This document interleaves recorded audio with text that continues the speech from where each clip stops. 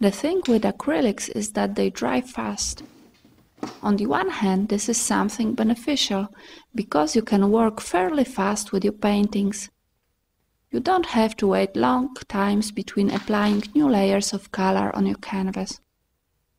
But this fast drying feature is also a disadvantage because once the paint dries on your palette, it becomes useless and very difficult to remove from a surface. So, if you think of getting a good palette, the best would be something disposable that don't require cleaning. I used earlier paper plates and plastic covers of different food containers like ice cream or yogurts. I could simply throw them away after work without a pity. But that was before I discovered something much better.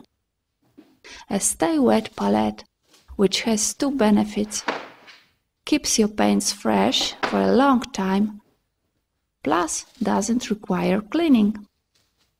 You can find such items in art supply stores. You can also make a Stay Wet palette by yourself using commonly available products. In the next lesson I will tell you how to do it.